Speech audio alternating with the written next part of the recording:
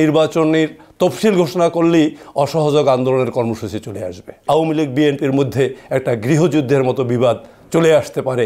আপনি জানেন যে মুক্তিযুদ্ধের মাধ্যমে আমরা যে স্বাধীনতা অর্জন করেছিলাম, সেখানে আমাদের অধিকার, ভোটাধিকার এবং মানুষের মানবাধিকার প্রতিষ্ঠা করার জন্য এদেশের তিরিশ লক্ষ লোক শহীদ হয়েছিলেন। আমরা গত পনেরো বছর এই সরকার ক্ষমতায় আসার পর সেই ভোটের অধিকার এবং আমাদের মানবিক অধিকার আমরা হারিয়েছি। সুতরাং আমাদের কর্মীরা আপনারা দেখেছেন গত পনেরো বছর ধরে যে সর্বোচ্চ আত্মত্যাগ করে আসছে শুধুমাত্র এদেশের মানুষের অধিকার প্রতিষ্ঠার জন্য। এই মুহূর্তে আমাদের কর্মীরা সর্বোচ্চ আত্মত্যাগের জন্য প্রস্তুত। আমরা মনে করি এই মুহূর্তে সরকার যদি আবার চোদ্দ বা আঠারোর মতো আর একটি নির্বাচনী তফসিল ঘোষণা করে, তা কোনোভাবেই এদেশের সাধারণ মানুষ এবং বিএনপির নেতাকর্মীরা মেনে নেবে না।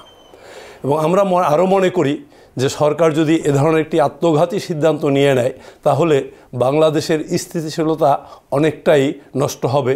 এবং আমরা মনে করতেছি যে এদেশের মানুষ যেভাবে মুক্তিযুদ্ধের মাধ্যমে যে অধিকার প্রতিষ্ঠা করেছিল, সেরকম সর্বোচ্চ ত্যাগ করে হলেও আবার আমাদের মানুষ যেভাবে সেই উনিশশো একাত্তর সালে যার যা কিছু ছিল তাই নিয়ে ঝাঁপিয়ে পড়ে তাদের অধিকার প্রতিষ্ঠা করেছিল, ঠিক একইভাবে আমি মনে করি যে আমাদের নেতাকর্মীরা সর্বোচ্চ ত্যাগ করার জন্য প্রয়োজনে মুক্তিযুদ্ধের মতো আর একটা অসহযোগ আন্দোলনে ধাবিত হবে এবং দেশ একটা অনিশ্চয়তার দিকে চলে যাবে। আমি এও মনে করি যে আমাদের এই সময়ের মধ্যে যেভাবে এই সরকার মানুষকে জেলে নিচ্ছে, আপনি জানেন, আমাদের কোটি নেতা কর্মী আজকে গৃহহীন, সবাই জেলখানার মতো এর চেয়ে অনেকেই নেতাকর্মীরা বলতেছে, এর চেয়ে জেলে থাকা ভালো।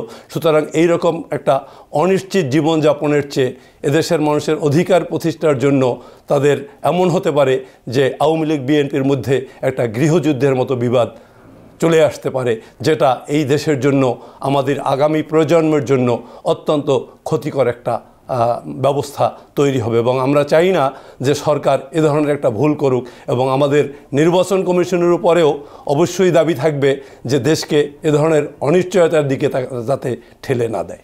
ইতিমধ্যেই আপনারা দেখেছেন যে আমাদের নেতাকর্মীদেরই চাহিদা কোনোভাবেই যাতে করে আর কোনো দুই হাজার চোদ্দ বা দুই হাজার আঠারো সালের মতো কোনো নির্বাচন না হতে পারে, সেইভাবেই আমাদের নেতা তারেক রহমান আমাদের নেতাকর্মীদের ইতিমধ্যেই ইঙ্গিত দিয়েছেন এবং নেতাকর্মীদের দাবি যে কোনো কিছুর বিনিময়ে তারা নির্বাচন হতে দিবে না।